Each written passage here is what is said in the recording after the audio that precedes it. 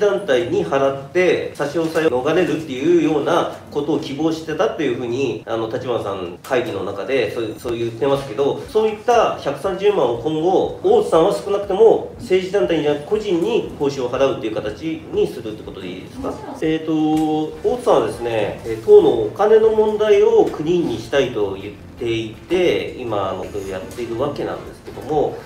その大津さんがおあの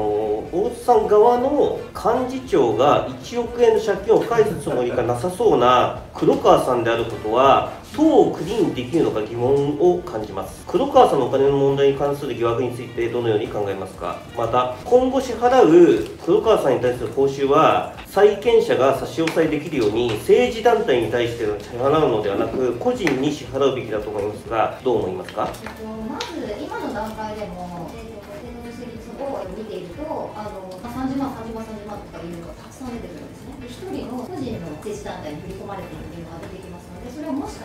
給料かもしれませんよね。今党員だと言われているように寄付という形でお支払いして所得税を、まあ、取り任しているという可能性もあります。私は黒川さんが今幹事長であるというのは正式な手続きを踏んでないから30万、えっと、支払いする代わりに、えっと、降りるみたいな契約のもと降りるとおっしゃったんですけれどもその後も何も手続きがなされていませんし総会であの決めるなり役員会で決めるなりその問題そういうことが必要だと思いますので今の段階で何に関してはこれから話し合って決めていくかと思いますので、まあ、だからといってもあの協力してくださってますし当人でお金の部分っていうのはこれからもそうですが誰かがそのまず独裁を始めるとなったら同じことが起きる可能性がありますので、まあ、党首にも任期がないんですよ。定めたり大学の規約も作り変えますけれども解任する時の、えっと、規約も今幹事に対して、えっと、ないんですよね。は、えっと、2年と決まっているんですけれどもそのなんか2年の間に、えっと、勝手にこっちがやめろって言ってやめするっていうことができるというふうには、えっと、規約には書いていませんので返す返す気がないというのはそれ発言として間違ってますよね別に民法上の貸主という私個人の話であり貸主との返済計画が合意できてないっていうだけなんで返す気がないっていうのはあなた訂正すべきです。訂正されます。ただもうすでに裁判で支払わないといけないって確定してますよね。それは裁判で支払わないといけないということといやじゃあ差し押さえをしてくれればいいんです。で執行してくれればいいんです。執行は先方がしないんでそれをしたらあの自己破産して終わりにしますっていうことをあえて明言してるじゃないですか。自己破産じゃないです。執行っていうのは向こうの行為だから。自己破産じゃないです。だから動画で発言されてるの流されてますね大木さんの方から。いやだから執行は自己破産ではありません。政治団体に払って差し押さえを逃れるっていうようなことを希望してたっていうふうにあの立花さん会議の中でそうそう言ってますけどそういった130万を今後大津さんは少なくとも政治団体じゃなく個人に報酬を払うっていう形にするってことでいいですか？もちろんそういうなんか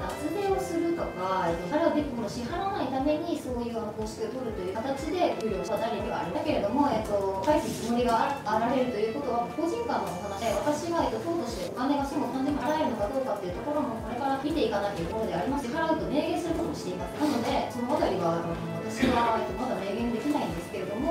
金を支払い破綻するようなことはしませんあ130万も私の給料じゃありませんから活動費の増額です。か130万はそも払われていないというところと払われていない段階で130万をやってもらったので100万円を政治家女子のために寄付してくださるということで80万円のお金をくださったと聞いていますので政治家。黒川さんはお金が欲しいそういうふうにというふうに私はあんまりあの認識はしていないんですけれども130万円に関しては。ただ黒川さんがどのように返済計画を立てていくとかいうところまで私は関与することは。あとですねそのまあえっ、ー、とアタ国の活動で寄付を受けていて、まあ、政治団体になってないというようなこととか、まあ、そういったことも含めてやはり、まあ、あるいはその過去のいろいろな、えー、事業でお金を集めた温度差発電でということでお金を集めたとかだったり、まあ、いろいろとあのやっぱり黒川さんに対しては、えー、のいろんなところからお金についての、えー、疑惑を過去に一つの案件ではなく複数のいろいろなことを指摘されている。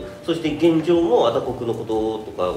小木さんとかからいろいろと指摘されている。そういったようなお金についての問題を非常にあの指摘されて、まあ、それがねもう明らかにそれはちょっと違うんじゃないのと思われるんじゃなく、まあ、確かに、まあ、妥当性というかあるよねと思う一般的に多くの人が感じるようなことがいくつもある方が党のお金を国にするって言ってるところで幹事長という重要な役職に居続けるんであればそれは大津さんがやってることも疑われることになるかと思うんですけどそこら辺今もうですか、申し訳ないけどあのいいですか？事実と違いますね。まずそのあちゃんと調べてもないのにあの例えば新しい国民の運動の寄付は市民団体が寄付を集めてるだけですよ。だからそれをなんでそこについて批判いろいろと。批判っていうのはじゃあ法律のじゃあ判例持ってきてください。俺はちゃんと調べてるから。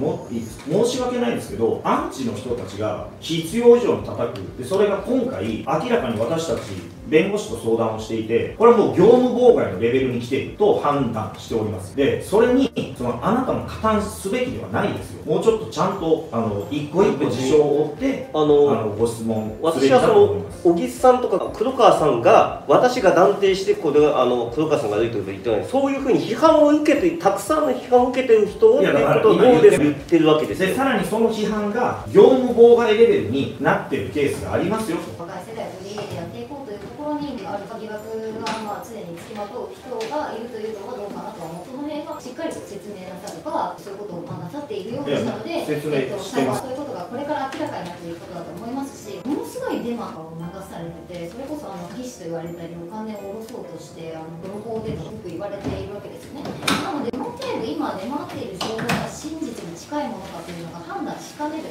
それは司法が決めることだと思いますのでその結果をお待ちいただく方がいいのかなというふうに思っていますしそれはまあ私からすると小島さん側の術中にはまっているというかそういうふうに感じるので、えっと、よろしいでしょうか。少し私も一言だけ。市民団体が寄付を集めるなっていうのは本当にまずいのでそんなことしたら市民団体の活動ができなくなるんですよ。で別に新しい国民の運動は私だけの団体で本当にないのでここに来てくださってる人とか、まあ、本当に多くの人が手弁当で参加してくれてるものでそれに対して不当にあのよく判例も調べもせず自分の思い込みでしかも法律名を言って寄付を集めるなとかって言ったことに関しては私は十分刑事レベルの責任を追及されうる妨害行為だとあのそれは私が思うだけじゃなくてうちの関係弁護士も度が超えていると言ってるのであの特に市民運動っていうのは政治運動よりも広く世の中で認められるべきものであって原発の反対運動をされてる方とか別にいろんなテーマでやっておられる方々がいてでそういうものをなんか政治団体登録しなければならないっていうことは歴史上どこにもないんですよ。なのでその政治資金規正法の文言を曲解してそのようなことを言うのはあのこれは私たちの団体だけじゃなくて他の人にも悪影響が出るので本当にやめていただきたい。